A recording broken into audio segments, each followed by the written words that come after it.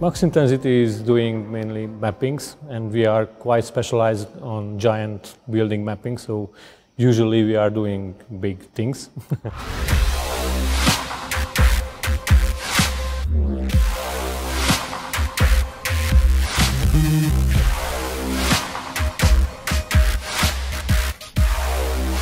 If you compare to your other projects, is there something special? The Karlsruhe Schloss is very special for us because not only a straight wall, but three, three walls in uh, other angles. And it's a little, little bit special, but it was an amazing challenge. In which way was the challenge?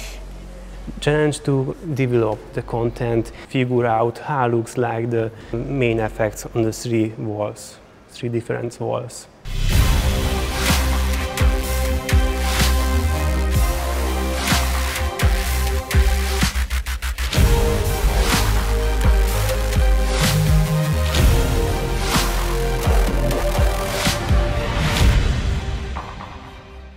How do you start uh, such a project? You develop your ideas first or you study the historical background? First, study the historic background of the castle.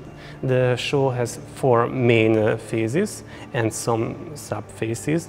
The first uh, phase is an, the dream, when Charles Wilhelm dreamed the city in the hunting. And after the dream section the starts is the past.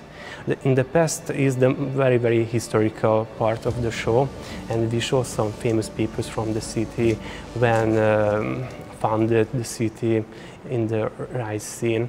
After the past begins the present feast, where we concentrate on the actual feast. The Karlsruhe is the Stadtgeburtstag, the 300 years old city, and some this.